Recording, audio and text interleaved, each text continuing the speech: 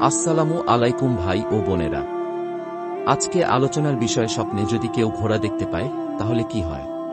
আশা করি আল্লাহর অশেষ রহমতে আপনারা সকলেই ভালো আছেন, আলহামদুলিল্লাহ। স্বপ্নকে আরবি ভাষায় রুইয়া এবং ফার্সিতে খোয়াব বলা হয়।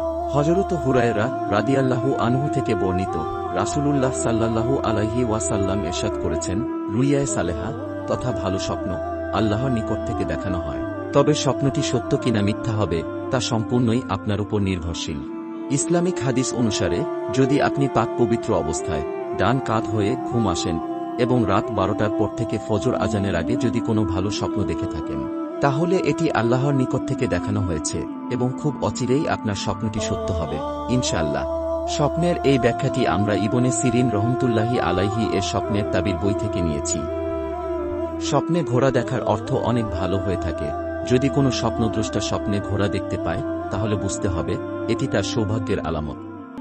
যদি স্বপ্নে লাল করা দেখে, তাহলে বুঝতে হবে, কারও থেকে সাহায্য প্রাপ্তি হবে।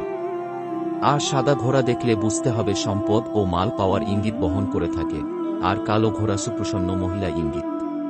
এই রকম আরও ইসলামিক ভিডিও পেতে আমাদের চ্যানেলটি সাবস্ক্রাইব করুন, এবং পাশে থাকা বেল আইকনটি বাজিয়ে দিন।